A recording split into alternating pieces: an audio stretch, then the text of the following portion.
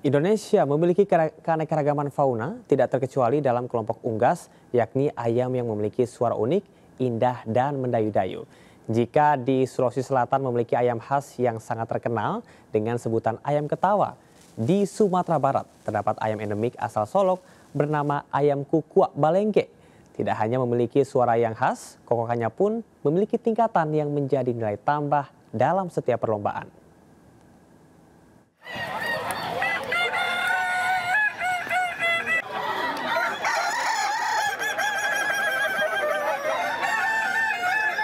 Puluhan ayam dengan postur gempal dan jengger menawan ini berkokok saling sahutan.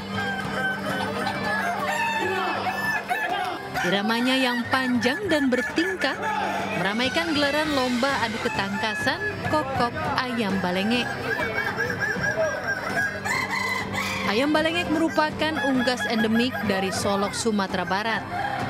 Berbeda dari ayam ketawa dari Sulawesi Selatan, ayam balengek juga memiliki ciri khas pada suara berkokoknya. Karena dalam setiap perlombaan adu ketangkasan berkokok, terdapat beberapa kategori yang dinilai dari panjang pendeknya kokokan ayam. Pada perlombaan yang digelar untuk memeriahkan hari jadi kota Padang ini, ada tiga kategori yang diperebutkan. Jenis landik merupakan kategori tingkatan kokok atau balenggek minimal lima kali. Jenis boko dengan tingkatan lenggek di atas lima serta yang tertinggi jenis randah batu dengan tingkatan lenggek di atas tujuh. Karenanya ada tiga juri yang memperhatikan, menilai serta mencatat berapa kali ayam-ayam balenggek ini berkokok dalam kurun waktu 15 menit. Kemampuan berkokok tiap ayam tergantung dari bagaimana sang pemilik melihatnya. Karenanya bukan hanya membutuhkan kesabaran. Asupan makanan yang bergizi dan dapat memaksimalkan pita suara sang ayam pun harus tetap diperhatikan. Dia kan memang genetiknya di Jadi kalau memang ayamnya keturunannya itu ayam kokok belengge, pasti dia bisa juga. Latihan, kasih pakannya yang sesuai. Udah pernah juara belum, Bu? Udah. Perlombaan ayam kokok balenggek ini juga bertujuan untuk melestarikan satwa endemik khas Sumatera Barat yang sudah mulai punah.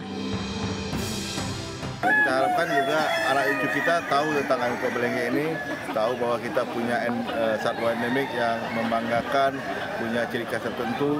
Nah, ini bagian daripada pelestarian alam. Nah, tentu juga kita ingin mempopulerkan seperti tadi ketua ketua menyatakan ada ayam petawa dari provinsi lain sudah sangat terkenal dan kita juga ingin mengenalkan uh, kekhasan daripada ayam belengge ini. Sesuai namanya, ayam balenggek juga memiliki nilai jual yang tinggi hingga puluhan juta rupiah.